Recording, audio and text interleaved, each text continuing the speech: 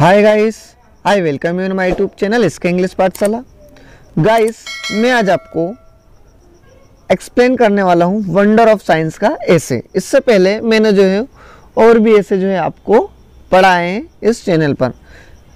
कौन कौन से पढ़ा दिए मैंने आपको?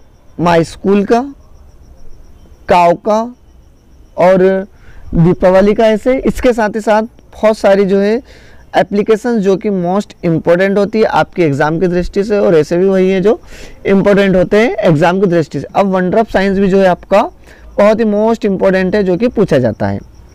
वंडर ऑफ़ साइंस में जो है आपको एक्सप्लेन आज करने वाला हूँ दोस्तों। तो बिना देर किए के शुरू करते हैं दोस्तों, यहाँ ऐसे।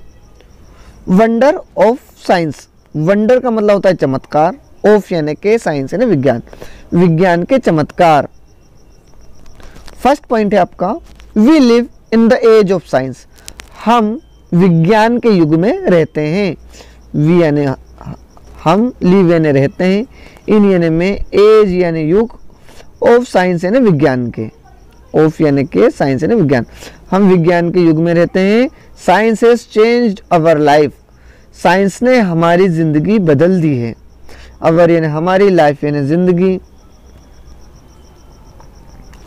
We see many wonders of science today we यानी हम सी यानी देखते हैं मेनी यानी कई वंडर्स यानी चमत्कार ऑफ़ साइंस यानी विज्ञान के। टुडे यानी आज आज हम जो है विज्ञान के कई चमत्कार देखते हैं। Science is helping us in our daily life science जो है हमारे दैनिक जीवन में हमें उपयोग कर रहा है। है ना? साइंस यानी विज्ञान इज़ यानी है हेल्पिंग यानी मदद करना। अस यानी हमारी इन यानी में आवर डेली लाइफ हमारी रोज की या दैनिक जीवन में। साइंस जो है हमारे दैनिक जीवन में हमें बहुत मदद कर रहा है। Science is given us car science ने हमें कार दी है गिवन यानी देना। शिप यानी जहाज़ एरोप्लेन यानी हवाई जहाज़ टीवी यानी टेलीविज़न कंप्यूटर एटीसी इसके अलावा और भी बहुत सारी चीज़ें जो है साइंस ने हमें दी है।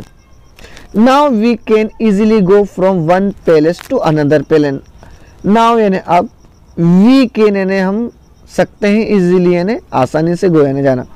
हम जो है आज आसानी से जा सकते हैं एक स्थान से दूसरे स्थान तक, है ना?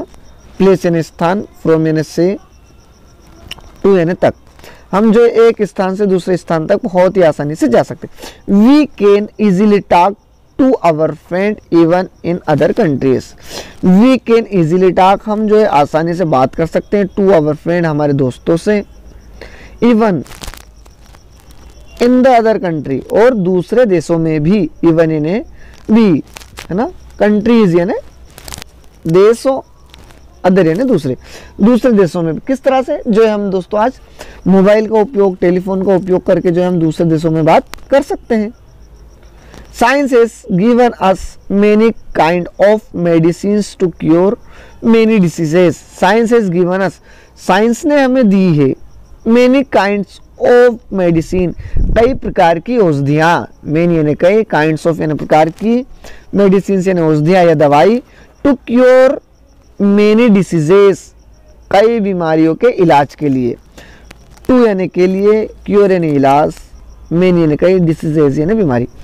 साइंस ने हमें जो है कई प्रकार की बीमारियों के इलाज के लिए दवाइयाँ दी है। Science has made us happy and healthy science ने जो है हमें खुश और स्वस्थ बना दिया है। हेल्दी यानी स्वस्थ हैप्पी यानी खुश। मेड यानी बनाना अस यानी हमें। या खुश कर दिया है, खुश बना दिया है, खुश कर दिया एक ही बात है। All the industries are the gift of science जितने भी फैक्ट्रियाँ हैं, वो सारी साइंस की ही देन है साइंस का ही वरदान है। आल यानी सारी इंडस्ट्रीज़ यानी फैक्ट्री आर यानी है गिफ्ट यानी तोहफा या वरदान ऑफ़ साइंस यानी विज्ञान का। Electricity is wonder of science बिजली जो है, विज्ञान का बहुत बड़ा चमत्कार है। Electricity is given us light बिजली ने हमें लाइट दी है रोशनी दी है। If there is no electricity nothing can be done यदि बिजली नहीं होगी तो कुछ भी नहीं किया जा सकता।